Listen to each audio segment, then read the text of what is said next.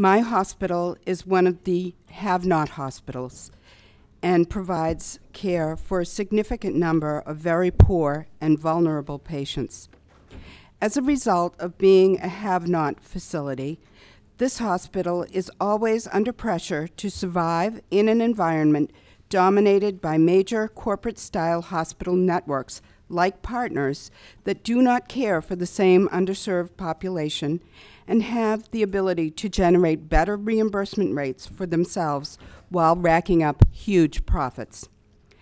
The Hospital Profit Transparency and Fairness Act has special relevance to Cambridge Health Alliance and our community, as in 2013, an attempt was made to close our nationally renowned child psychiatric unit, which provides first rate care to young children with severe mental illness and more recently, our dedicated psychiatric emergency service was closed. As you know, children's mental health services are already lacking across the state, and here was a proposal to reduce these services even more. The announcement of this closing sparked an outcry from our community and mental health advocates across the state.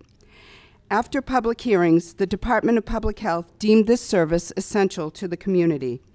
Thankfully, because of some last minute help from our state legislators, we were able to get temporary funding and to keep those services available, and they are available today. This is not the way to plan for essential health services.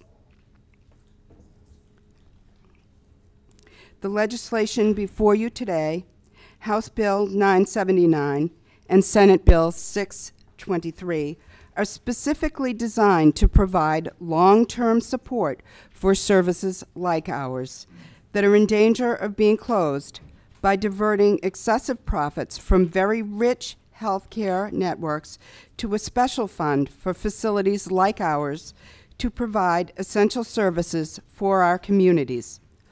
Hospitals and CEOs should not get rich from our tax dollars while our families struggle to secure basic services for our children. I urge you to report these bills out of committee and to ensure that committees and communities like mine and the patients that I care for have access to the services they need and deserve. Thank you.